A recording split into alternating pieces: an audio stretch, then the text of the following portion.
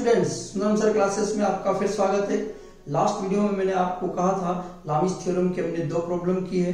अगले वीडियोस में भी मैं लामिस थ्योरम की कुछ और प्रॉब्लम्स करूँगा, क्योंकि इंजीनियरिंग डिप्लोमा और कॉम्पिटिशन में लामिस थ्योरम पर बेस काफ़ी फुल लेंथ के क्वेश्चंस और मल्टीपल चॉइस के क्वेश्चंस आते रहते हैं। तो मेरे को ऐसी उम्मीद है कि आपने पहले वाली वीडियोस देखी होगी। पहले की दो वीडियोस में आपको थ्योरेटिकल पार्ट और लामिस थ्योरम पे दो क्वेश्चंस मिले होंगे। तो आज हम एक क्वेश्चन और लेंगे और उस क्वेश्चन को सॉल्व करेंगे। ये क्वेश्चन बहुत इंपॉर्टेंट है, क्योंकि इसमें आप थोड़ी मैथ्स भी सीख पाएँगे, थोड़ी फिजिक्स भी सीख पाएँगे और थोड़ी सी मैकेनिक्स तो आप सीख ही रहे हैं। तो चलते हैं हम इस क्वेश्चन की ओर। पहले सबसे पहले हम क्वेश्चन को समझेंगे। ओके ये देखिए, ये कहता है, एक डोरी ए बी सी डी ई है। ए बी सी डी ई है।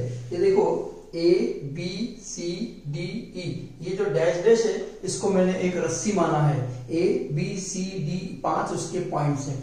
ये कहता है बी और सी पर। नहीं, ये कहता है इसका एक सिरा ए बी सी डी का एक सिरा एक खूंटी से बंधा है। तो ये देखो, ये मैंने खूंटी बाँध दी है ए सिरा है आपका। तो यहाँ पे खूंटी बाँध दी हो गया। अब बी और सी पर क्रमशः W1 और डब्ल्यू टू भार लटका दिए हैं। ये डोरी एक चिकनी गिरनी डी से गुजरती है। तो आपको समझो ए को कहा बांधा? खूंटी पे। बी और सी पर वेट लटका दिए हैं। क्वेश्चन को आप दो तीन बार पढ़ना। ये डोरी, अगला पॉइंट है डी तो डी जो है वो चिकनी गिरनी से गुजरता है और जो पांचवा सिरा है ई जो स्वतंत्र है, यानी फ्री है, उस पर 800 न्यूटन का भार लटका दिया है। ये सबसे इंपोर्टेंट देखो, डोरी का भाग बीसी जो है, डोरी का भाग बीसी हॉरिजेंटल यानी क्षैतिज दिशा में है। क्लियर है सर और संपूर्ण निकाय एवं संपूर्ण निकाय संतुलन में है। तो मैं अब थोड़ा सा डिटेल में समझाता हूँ। ए को अपने एक खूंटी से बाँध दिया है। बी और सी का जो हिस्सा है बीसी वो आपका क्षैतिज यानी होरिजेंटल है और बी और सी पर आपने वज़न यानी वेट लटका दिया है। ठीक? और डी जो है वो चिकनी गिरनी से गुजर रहा है। और जो चिकनी गिरनी से गुजरता है कोई तो रस्सी नीचे लटक जाती है। उसको बोलते हैं स्वतंत्र सिरा और स्वतंत्र सिरे पर 800 न्यूटन का यहाँ पर वज़न लटका दिया है वेट लटका दिया है। और सारा सिस्टम सब बल लगने के बाद भी क्या है ये सारे कौन जो सारे सिस्टम है निकाय है, वो संतुलन में है। यानी कोई गति नहीं होनी चाहिए। क्वेश्चन आपको समझ में आ गया है।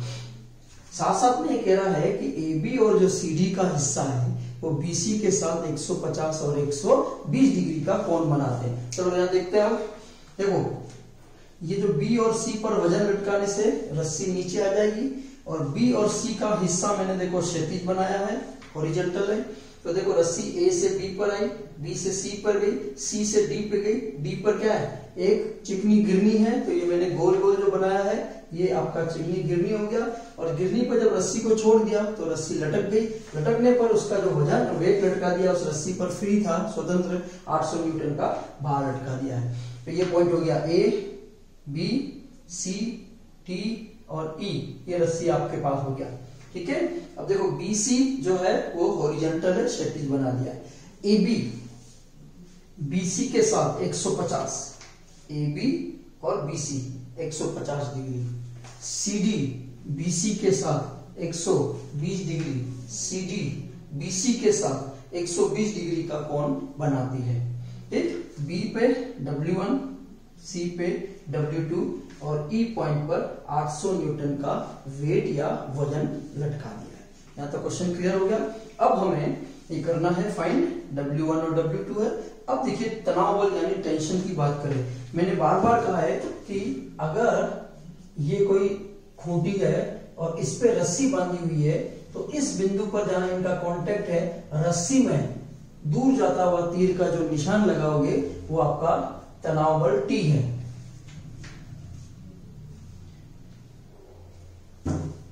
जो ये रस्सी है, इसमें जो तनाव बल है, वो आपका टी हो जाएगा। तो देखो, इस पॉइंट के लिए, ये कौन सा पॉइंट है? बी इस पॉइंट पर रस्सी में ये तनाव बल टी और ये रस्सी का ये हिस्सा इधर बंधा हुआ है तो इसके लिए ये। तो ये तीर का निशान ए के लिए, ये तीर का निशान बी पर। अगर आप ए पर काम लेंगे तो ये एरो काम में लेंगे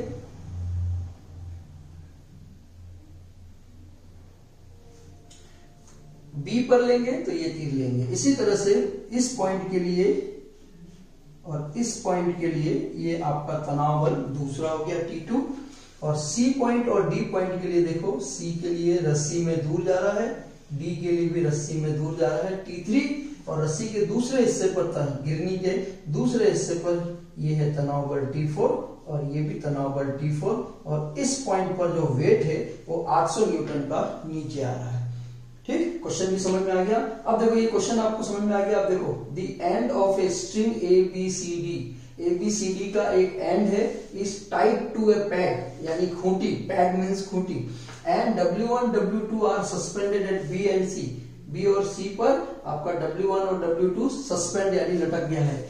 This string passes over a smooth pulley D क्या कह रहा है ये? ये रस्सी जो है, वो स्मूथ पुली डी से पास हो रही है and weight of 800 newton is suspended to free end free end पर हमने 800 न्यूटन का वेट को सस्पेंड कर दिया है। ये portion BC is horizontal BC का हिस्सा हॉरिजॉन्टल है and whole system is in equilibrium है ना? कंप्लीट सिस्टम इक्विलिब्रियम में है then find the values of W1 and W2 and tension in portion AB BC CD AB BC और CD में आपको टेंशन फाइंड करना है। The portion AB and CD portion AB and CD makes an angle of 150 and 120 with the horizontal BC clear है? अब इन सब के base पर आपको ये समझ में आ रहा होगा कि यहाँ एक बी पॉइंट है जहाँ पर एक, दो, तीन फोर्स काम कर रहे हैं। इसका मतलब आप यहाँ पे लामी से अप्लाई कर सकते हैं। सी पॉइंट पर एक, दो, तीन फोर्स काम कर रहे हैं। यहाँ पर भी लामिस थ्योरम आप फाइंड कर सकते हैं। लेकिन लामिस थ्योरम की एक बहुत नेसेसरी कंडीशन है तीन बल में से एक बल नॉन यानी ज्ञात होना चाहिए। T1, T2, W1 ये तीनों अननोन है।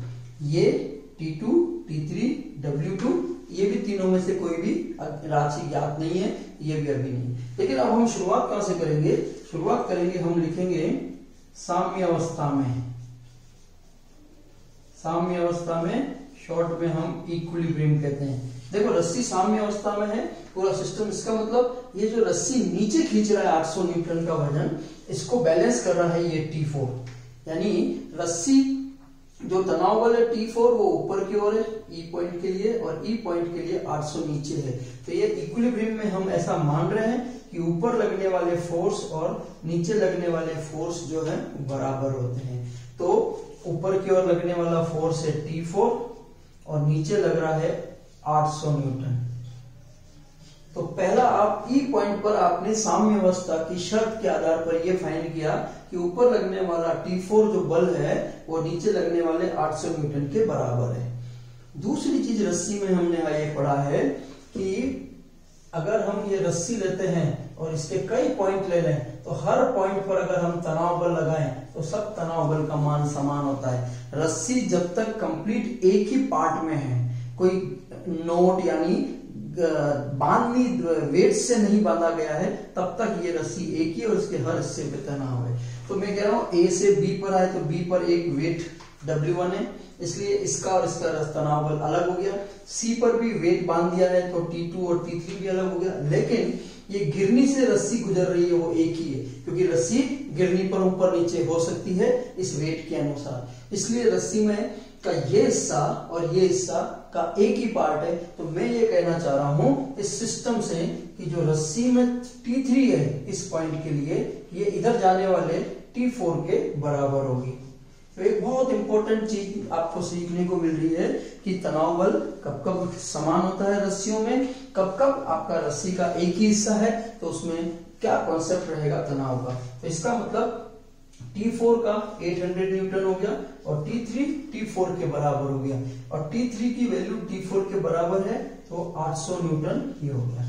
तो इसका मतलब ये जो T3 था, चाहे यहाँ को चाहे यहाँ को इसकी वैल्यू मिल गई 800 न्यूटन हमारा कंप्लीट हो गया।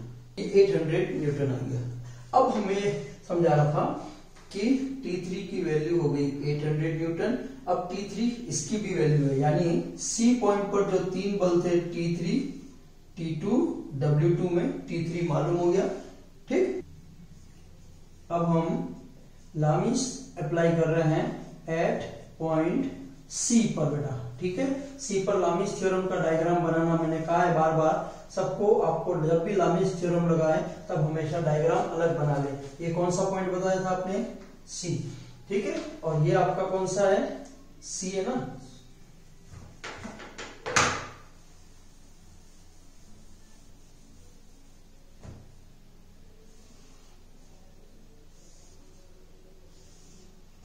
ये आपका 800 न्यूटन.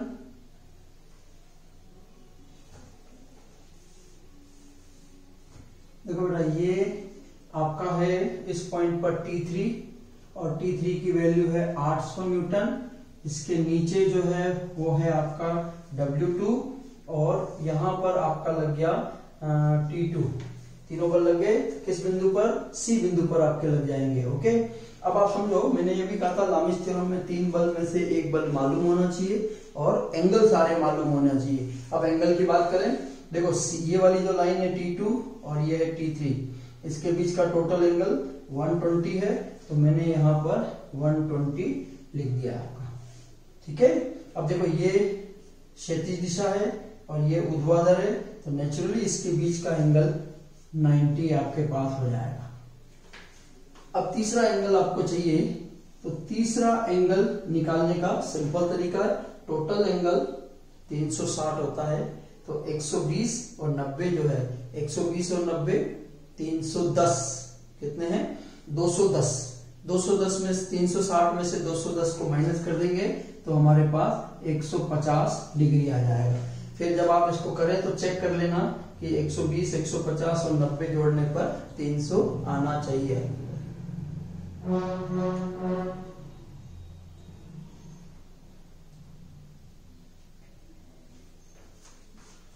फिर चेक कर लेना आप ये 120, 150 और 90 को जोड़ने पर 360 आना चाहिए। तो लामिस थ्योरम की हमने दोनों शर्त पूरी कर ली। इन तीनों में से एक मालूम है और ये तीनों एंगल्स हमें मालूम हो गए। अब लामिस लगाएँगे तो लामिस में हमने लिखा है T2 इसके सामने का कौन साइन 150 डिग्री दूसरा है W2 और W2 के सामने का कौन साइन 120 डिग्री और तीसरा जो है वो है बेटा 800 डिवाइड बाय सामने का साइन 90 डिग्री तो इस तरह से T2 साइन 150 को जब आप कैलकुलेटर से सॉल्व करोगे तो आपका पास 1.5 आ जाएगा। जब आप W2 को मल्टीपल करोगे, एक साइन 120 वैल्यू निकालोगे कैलकुलेटर से तो आपके पास जो वैल्यूज़ आ जाएगी, वो आ जाएगी पॉइंट एट सिक्स सिक्स आ जाएगा। और ये 800 और साइन 90 को करोगे तो आपके पास वन आ जाएगा। साइन 90 आपके पास वन आ जाएगा। तो इस तरह से आपने सी पॉइंट पर लामिस लगा दिया है और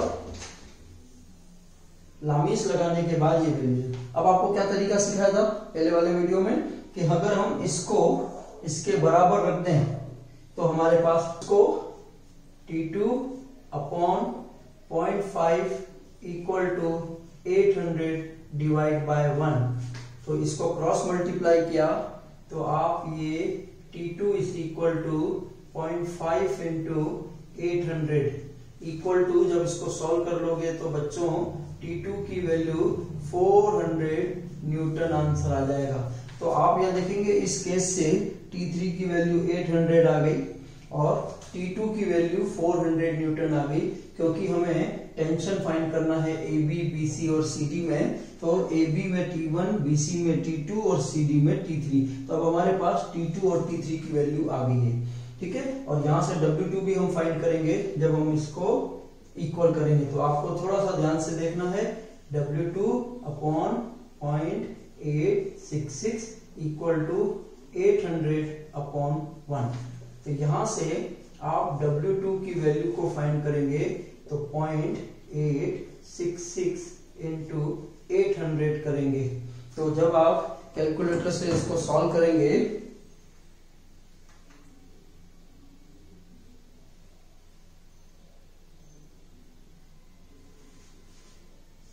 six ninety two point eight 692.8 यानी यहाँ से आपको W2 भी मिल गया। डब्ल्यू टू भी आपके पास। इस पॉइंट पर आपको T2, T3 और डब्ल्यू टू मिल गया। यानी सी पॉइंट पर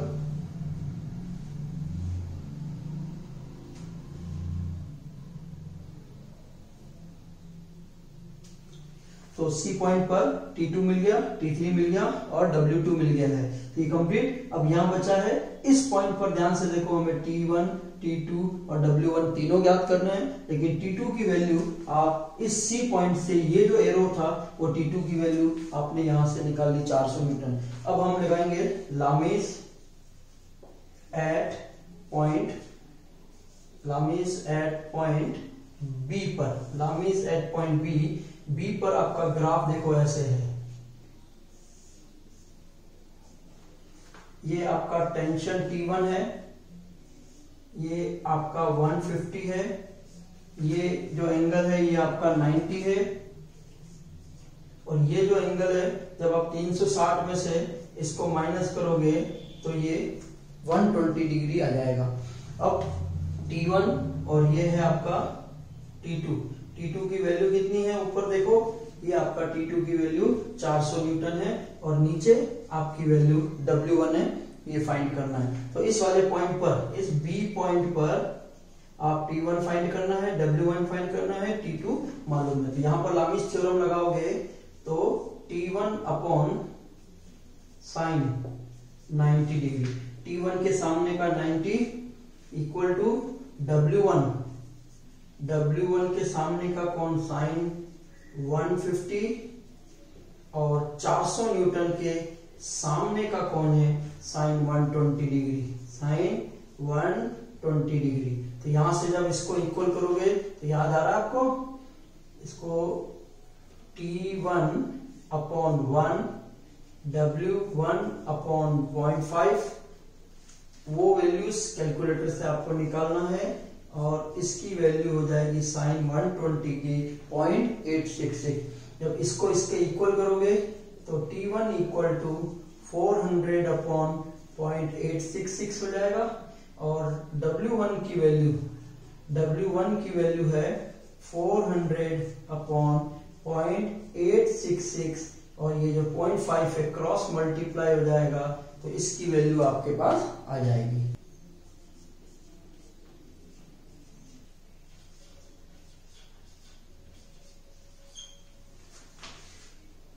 ये मैंने कैलकुलेटर से निकाल दी वैल्यू 461.8 और ये हो गया 230.98 न्यूटन तो ये आपका W1 हो गया, यहाँ से आप देखो W2 हो गया और यहाँ से आपका T1 T2 और T3 तो इस तरह से इस क्वेश्चन में दो बार, दो पॉइंट पर आपने लामिस थ्योरम का अप्लाई किया और जो भी क्वांटिटी आपको फाइंड करनी थी, वो वैल्यू आपने फाइंड कर ली है। तो इस तरह से बहुत इंपॉर्टेंट क्वेश्चन है। पॉलिटेक्निक के एग्ज़ाम में तो आया ही आया कई बार, बाकी इंजीनियरिंग कॉलेज में भी कई बार एग्ज़ाम्स में आते हैं। ये ज़रूर नहीं सिर्फ़ राजस्थान के लिए बेसिक मैकेनिक्स जो है, वो इंडिया के किसी भी पॉलिटेक्निक कॉलेज, इसलिए देखिए, हिंदी मीडियम नॉर्थ इंडिया में नॉर्मली हिंदी मीडियम यूज़ करते हैं, और ज़्यादातर साउथ इंडियन और इधर में। लेकिन इंग्लिश तो कहीं भी हो सकती है, हिंदी कहीं भी हो सकती है। आपको दोनों भाषाओं का ध्यान रखते हुए, जिसको जैसी भाषा सुविधाजनक है वैसे लेकर आप इस सवाल को सॉल्व करेंगे। इसी के साथ ये वीडियो में मैं इसी न्यूमेरिकल को फिनिश कर रहा हूँ। अगले वीडियो में मैं एक नए टॉपिक के साथ आऊँगा। इस वीडियो में मैंने लामिस थ्योरम पे पिछले वीडियो और इस वीडियो में मैंने लामिस थ्योरम पे तीन प्रॉब्लम्स करा दिए। अब आप प्रैक्टिस कीजिएगा, कोई डाउट हो तो मैं इस व्हाट्सएप नंबर पे seven seven four two one three six two zero two पर आप मुझे किसी भी तरह के डाउट को आप कमेंट्स कर सकते हैं या फिर भेजकर मुझसे आप डाउट क्लियर करा सकते हैं। चलिए ऑल दी बेस्ट